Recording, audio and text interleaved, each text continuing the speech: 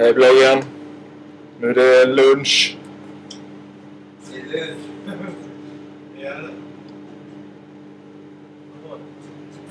Här är kycklinggryta. Där är mina. Björn har aids idag.